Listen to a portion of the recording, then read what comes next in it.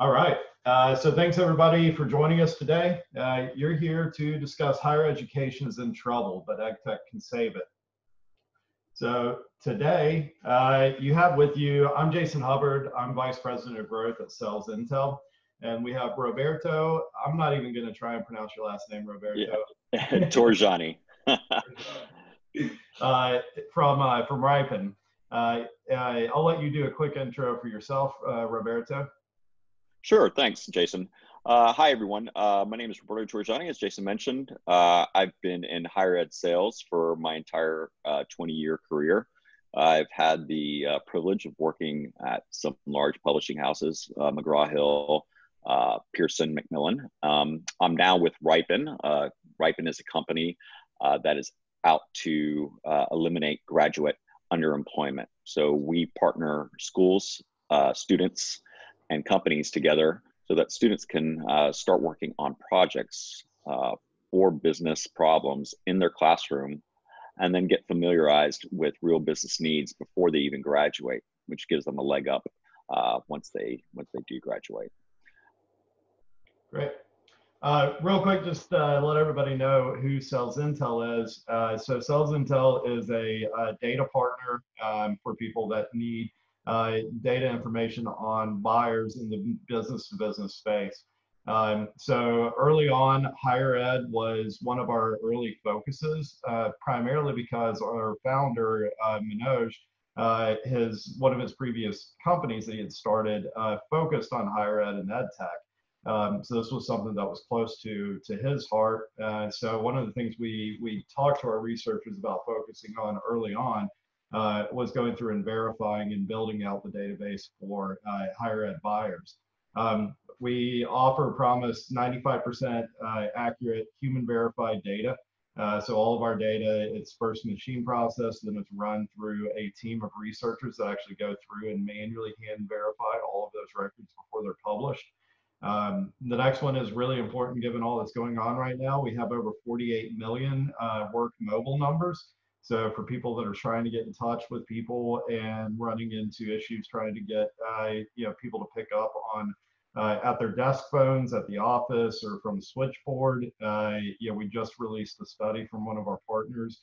Uh, dialing into work mobile numbers right now gives you a seven times lift in connection rates.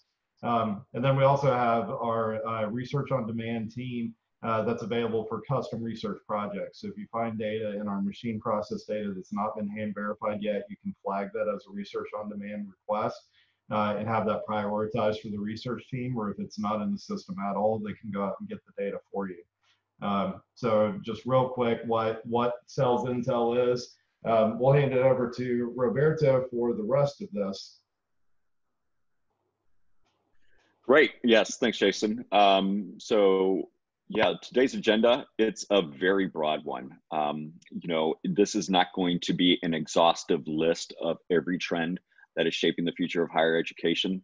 So I just want people, uh, you know, to definitely ask questions at the end. If I don't cover off uh, off a topic that you want to uh, talk about, feel free to ask me at the end. Happy to answer that, or we can email about it. Uh, we're gonna go and start with the trend shaping the future of higher education, then get to how COVID has exposed, you know, some areas for improvement, how higher ed is developing the tools that we need, and then what the future of higher ed education has in store. And that's where I hope to engage the audience. We have a fairly uh, sizable group, well, uh, a manageable group, I should say. So uh, we should be able to take questions in that last area, and we'd love to hear some thoughts from uh, the attendees. All right, Jason, yeah, so let's get board. Yeah, with that said, uh, as we go through this, please go ahead and pop your questions in the uh, Zoom side panel. Uh, we will make sure that we uh, reserve at least five minutes at the end for Q&A. So as things occur to you, go ahead and pop those in there and we'll make sure that we have time to cover those. Great. Yeah, so thanks, Jason. So uh, the trend shaping the higher, higher education, future of higher education, I mean, really we have to just get the big one out of the way, the most obvious one. Everything is moving to online learning, even if classes are in person. So outside of the humanities and social sciences courses, I would be absolutely shocked if there isn't a digital component to a course coming out of this pandemic. So starting fall, if uh, you if there's a course out there, um, you know that doesn't have a digital component, that is a ripe area for picking if you're in that um, specific discipline area. Um, STEM disciplines have always been trailblazers, but lately we've been seeing uh, some other folks, um, you know, get their foreign languages has a pretty good offering now. Um, you know, humanities are still lagging a little bit, but for the most part, you're going to start to see a good portion online. And even if you're not doing an online component, either via homework or something, there's a good chance that your actual class may be online as well. And we'll get to that in a second. One of the biggest things, obviously, you know, that we also have to really just uh, get out is the, the fact that the justification for every dollar spent is going to be heavily scrutinized. Universities are asking departments to cut budgets left and right. Um, you know, a few conversations that I've had over the past few weeks, it's either budgets are totally frozen, um, you know, they're not they're not moving, or they're you know greatly reduced. And if we go uh, just look at universities and how uh, they're facing these major changes, their financial health is dire at best. You know, their revenue is taking a huge hit as students, particularly international students, stay home. Schools that typically benefit from large endowments are also in trouble. Um, they're not immune to fallout from the pandemic. So that's just, it's something that really affects everyone. And then if we go deeper and talk about how decisions are made, uh, let's say for course materials, you'll also find that academic freedom is in jeopardy. And for those on the call that may not know what uh, academic freedom is, academic freedom is the freedom for any professor or lecturer to choose what they use for course materials and assign those uh, to the class. So, you know, in this COVID age, uh, that independence is going away there needs to be more structure.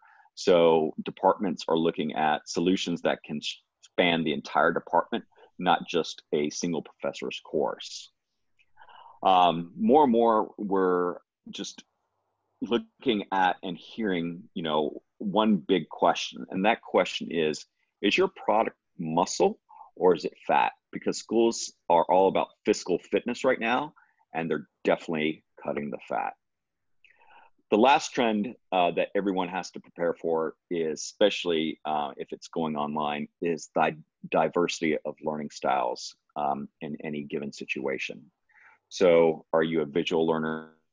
Um, do you need to read, write? Do you need to touch something and you know work with it in order to see it work?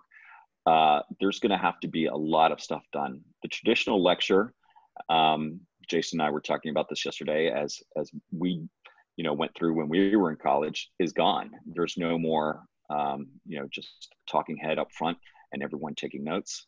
Uh, people have to adapt for that. And especially if you can't get back into the classroom there's really going to need to be some thought around this. Next slide please sir. Whoops. There we go. So one area of improvement even though they moved to it really, really quickly is obviously still online learning. So even though all schools have moved online, they haven't yet gotten all the wrinkles out. I'm sure everyone uh, has heard some horror stories, or maybe even had children uh, that were, um, you know, going through school and you know couldn't get connected, or for some reason, you know, just had some trouble completing some coursework. It's difficult. So simply delivering course materials through a platform is not the best way to teach students. You have to think about accessibility, compatibility of devices. Does it cross disciplines? For example, do you have a physics product that engineering students can use, or is it only for physics students? That's really important right now. Can your product ease that transition? I think one of the biggest and most uh, widely neglected value props for any company when they're talking to um, anyone in the higher ed space is something that we take for granted, but something that's still very valuable, and that's time. The most widely adopted products in higher ed save professors and administrators time. This includes the learning curve. It can't be too steep or else it'll never gain traction in that department. So speaking uh, from Riipen's viewpoint, we we save administrators five to seven hours uh, during the course of their week during the semester uh, with administrative tasks um, and project management tools. Does your product offer that? Uh, that's a key decision making. And obviously, it's a pain point for everyone, it's a universal pain point. So, being able to speak to that when you're talking to your clients is vastly important.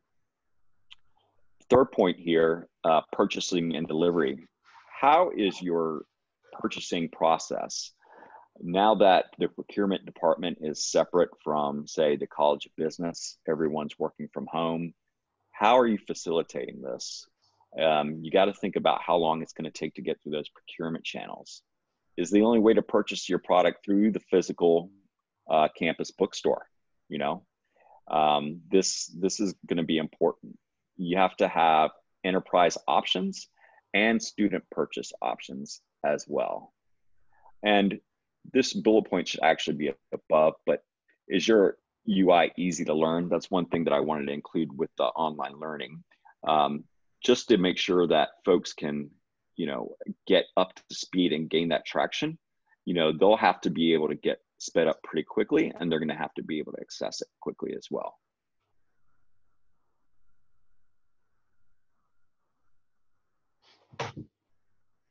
So how's edtech uh, developing tools need to reshape? Uh, some of these are, uh, you know, not not the obvious ones, and I wanted to highlight them because they weren't so obvious. Um, one thing that students, especially digital natives, are used to is having everything at their fingertips. If you think about just, you know, their social life, everything is at their finger, fingertips. Uh, you have uh, TikTok, Instagram, instant gratification all the time. Guess what? They expect that in education as well. It's not necessarily a bad thing, right? Giving students access to more information about how they're doing uh, gives them feedback quickly. It allows them to make that transition. If you talk about that 20 years ago when you had to wait two weeks to get your midterm uh, test back or your paper back and know where you were in the class, you couldn't really pivot you were lost, right? You have the midterm and the final, and that's it. That's not the case nowadays. The companies that are doing this best are applying um, practical learning skills and then giving students immediate feedback on, on those skills quickly. One thing that uh, companies will also need to do is support new teaching models. This is what the pandemic is going to do. We're going to see a lot of co-teaching, uh, team teaching, especially in those rigorous capstone courses as it gets to the end of someone's um, uh, undergraduate career. Um, you're going to see a lot of these, and they're probably going to straddle a few subjects. So, if you're a business major, you may have a marketing and a business course blend.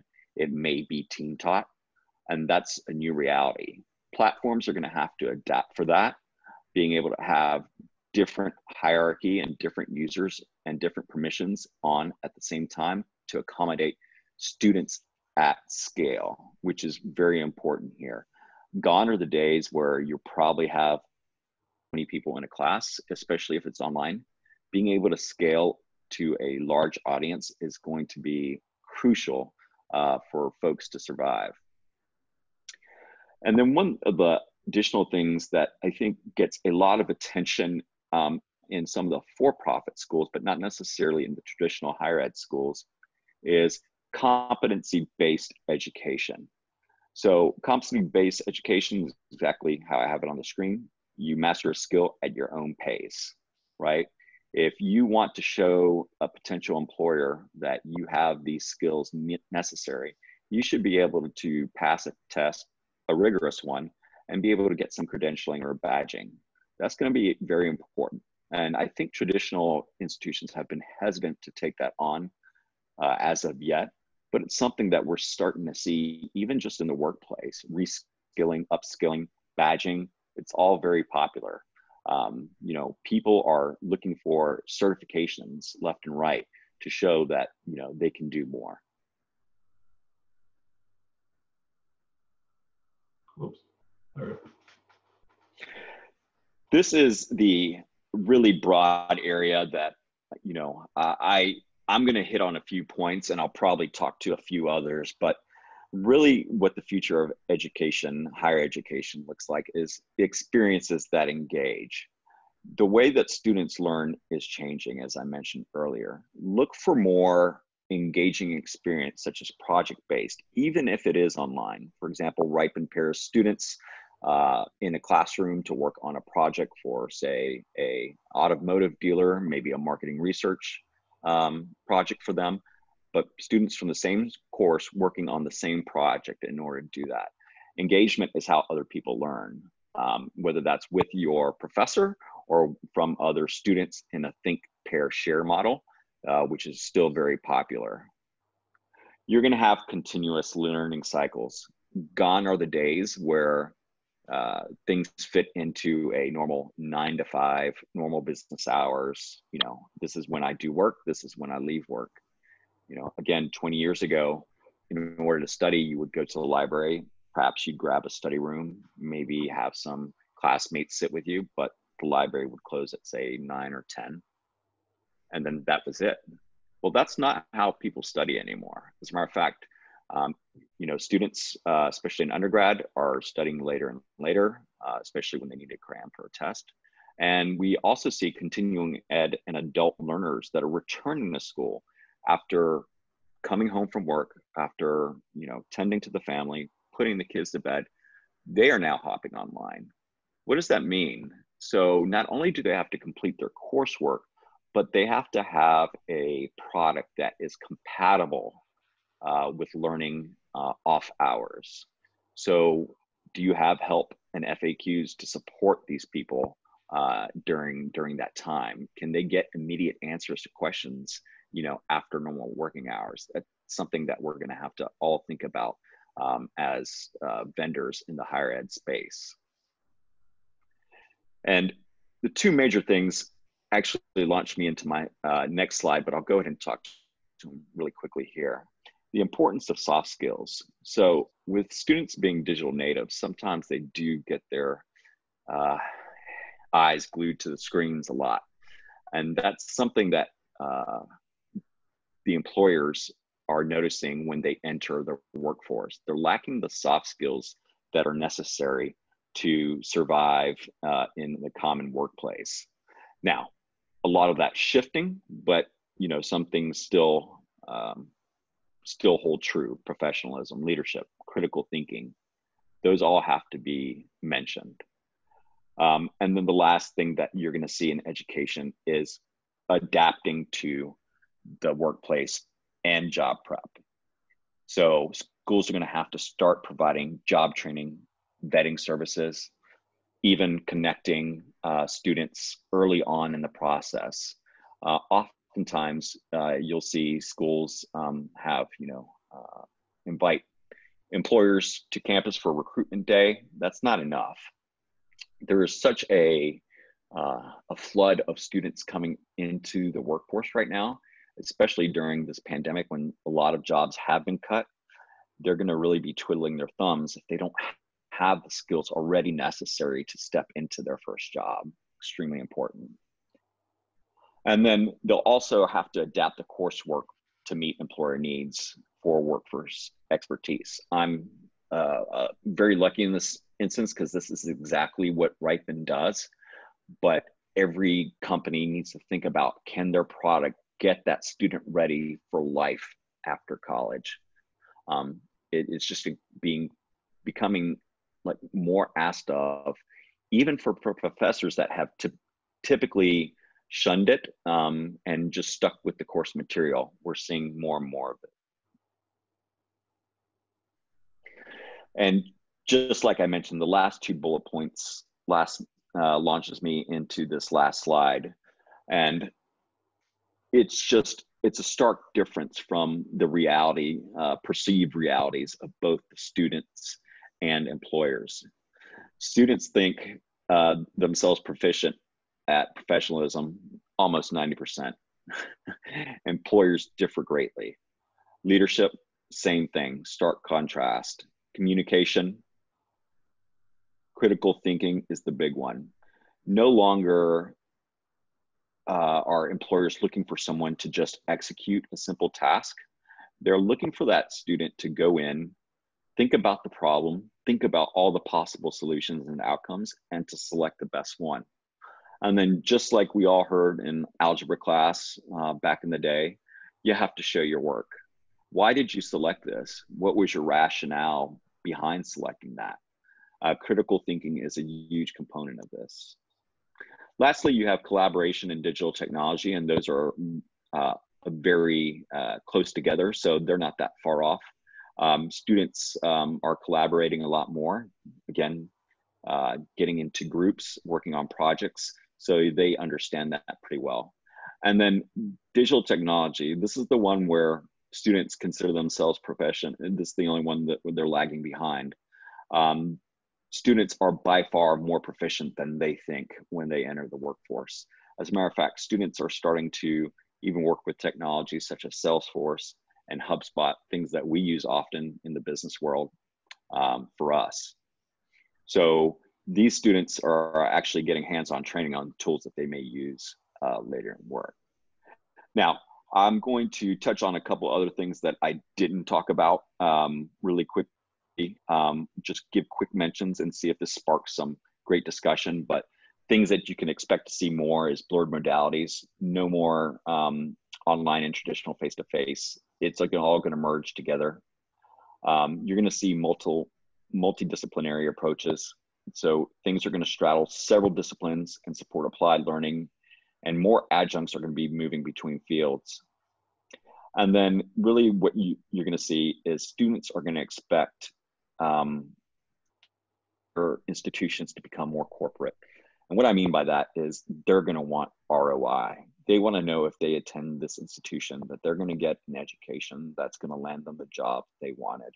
So knowing that um, going into school is going to be very important. Uh, you've probably heard stories already about students wanting to take a gap year this year to wait out. Why is that? Because that's that college experience is so important uh, that they don't want to start off their college experience online. Some will, some won't. But what they do expect once they hit campus is that they expect that that um, education that they receive at that institution will land them the job that they need once they graduate. I'd like to open up to questions here. We only have five minutes. Um, Yeah, it looks like we have one already in here. Uh, two parts. Um, so asking, uh, assuming Zoom, RingCentral, Microsoft Teams, collaboration tools like that are uh, the core daily interactive solutions for online learning. Uh, so one is, it, does that capture most of them? Are there ones that uh, that we should be aware of uh, beyond those? There, there are a couple that are education specific. Um, so uh, Campuswire, I would suggest, suggest you look at that one as well.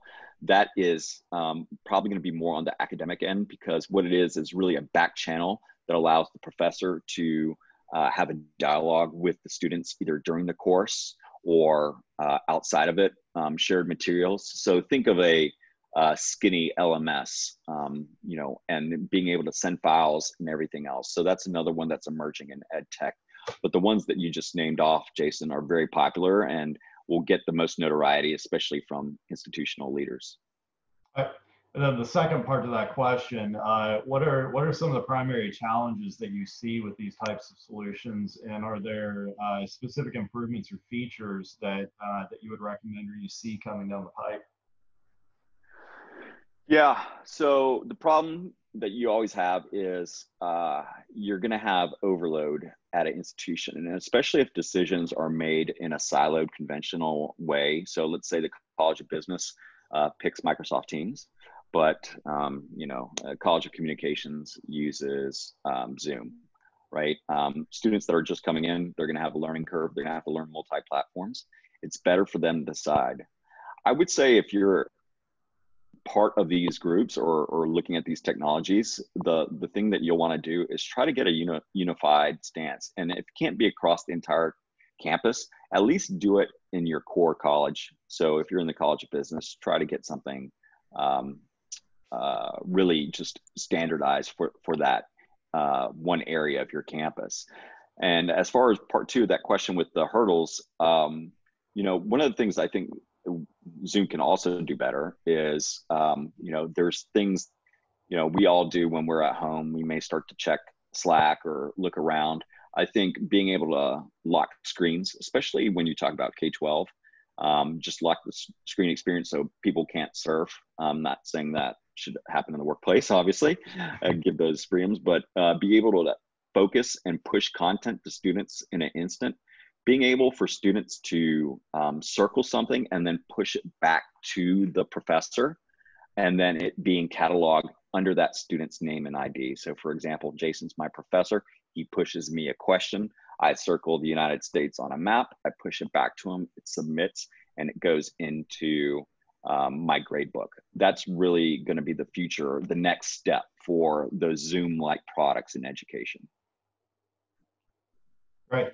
Um, yeah. As anybody else has any other questions, pop those in there. I've I've got a few for you. Um, so one, uh, piggybacking off what you said, as far as uh, you know, having silos or multiple uh, departments or decision making.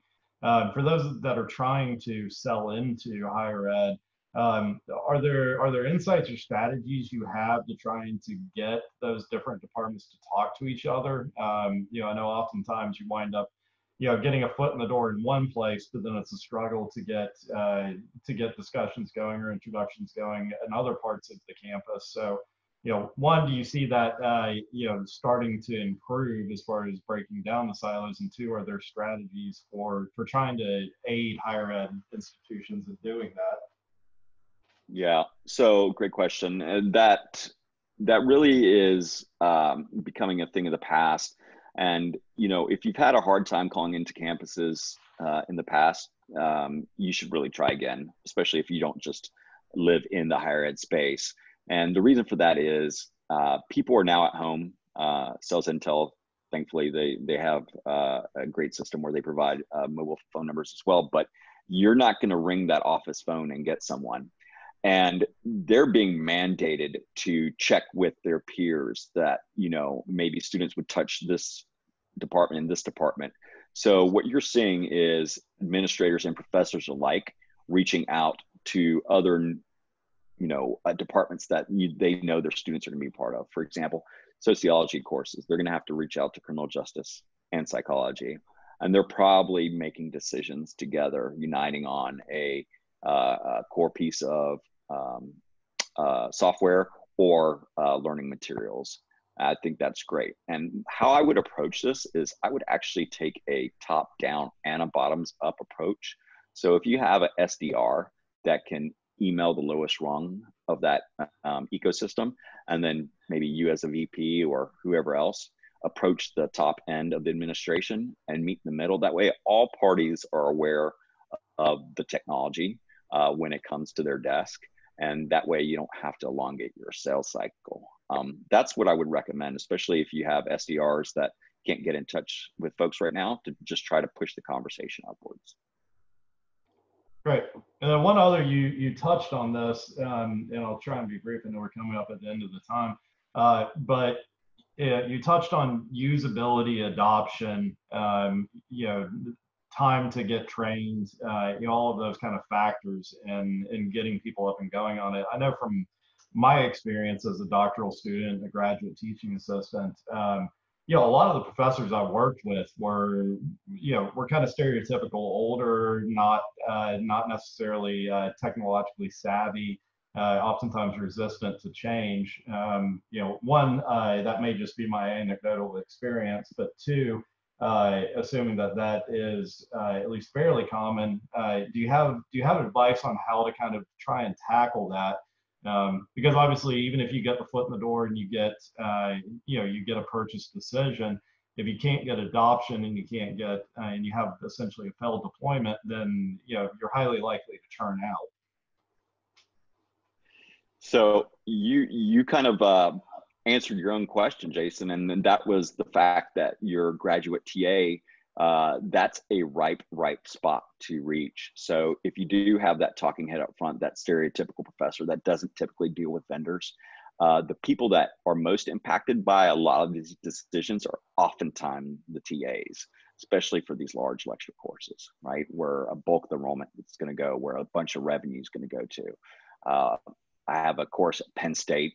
Uh, I think they have a 13, 14 TAs in one section alone. It's like 800 students. So they make decisions on the product. And I thought that was really unusual until I started digging in and finding that it wasn't. So if you can't go to the stakeholder themselves, trust me, there's someone uh, beneath them.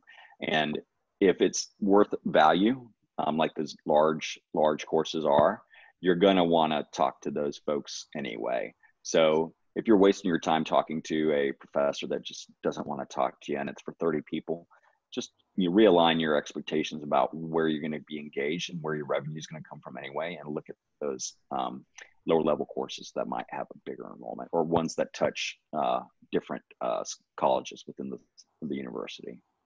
Right. And we have one more uh, that came in uh, asking about uh, messaging and content between a uh, top-down and bottom-up approach. So how do you how do you tailor that based off of your your audience and, and where they where they come in out of that strategy?